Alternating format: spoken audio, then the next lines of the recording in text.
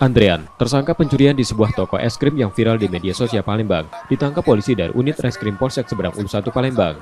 Tersangka ditangkap di rumahnya di Jalan Kiai Haji Wahid Hashim, Kelurahan 5 Ulu Seberang Ulu 1 Palembang.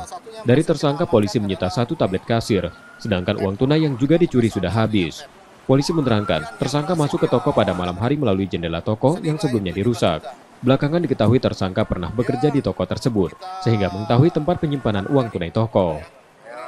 Pelaku ini adalah pekerja yang pernah bekerja di Misiu.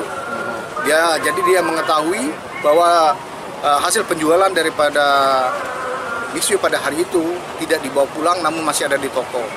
Sehingga dia pengen menguasai, pengen mengambil itu uh, uang yang ada di dalam toko Misiu. Lewat mana dia masuk ke toko, Bang? Lewat uh, jendela, jendela bagian atas. Karena dia pernah bekerja di situ dia tahu posisi jendela tersebut kurang kuat. Kurang kuat sehingga bisa untuk dilakukan uh, pembongkaran di situ. Berapa uang jumlah 17 yang juta. Yang bang 17 juta rupiah. Sama apa bang? Yang diambil dari laci kasir misiu. Sama yang sempat kita amankan adalah sebuah tem uangnya digunakan pelaku untuk apa bang? Pengakuannya bang? Dari hasil pengakuan digunakan untuk ya poya-poya. Karena perbuatannya, tersangka terancam hukuman lima tahun penjara. Yudi Kiswanto, Kompas TV, Palembang, Sumatera Selatan.